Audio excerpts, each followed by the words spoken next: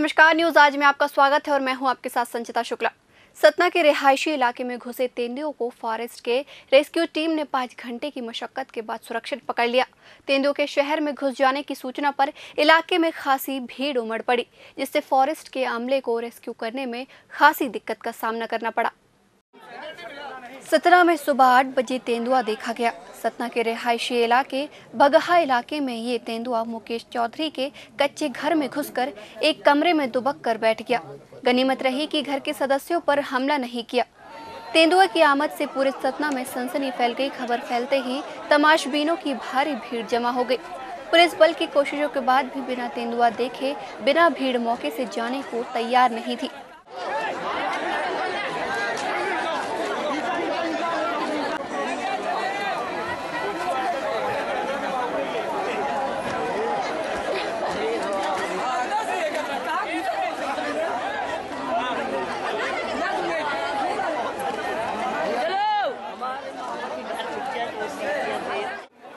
तेंदुए को पकड़ने के लिए मुकुंदपुर से सतना पहुँची फॉरेस्ट की टीम ने पहले स्थल का मुआयना किया, फिर ट्रेकुलाइज कर तेंदुए को बेहोश किया। इसके बाद उसे पिंजरे में डाल दिया गया। मौके पर पहुँच जब हमने उसको उस छत से और खिड़की से देखा तो तेंदुआ लगा वो, है ना? ये तेंदुआ था। तो उसके बाद प्लानिंग करके और उसको बेहोश किया गया और बेहोश करने के बाद होश में लाने के बाद स्टेशन से शिफ्ट किया गया इसको केज में अब मुकुंदपुर ले जाया जा रहा होगा तेंदुआ कितने साल? तेंदुआ पाँच साल के आसपास पाँच साढ़े पाँच। क्या?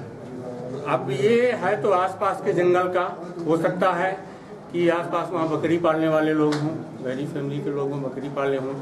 कभी कभी उस चक्कर में भी आ जाते हैं और भटक कर भी आया हुआ हो सकता है। मुकुंदपुर से आई रेस्क्यू टीम ने घंटों की मेहनत के बाद तेंदुए को पकड़ लिया गया।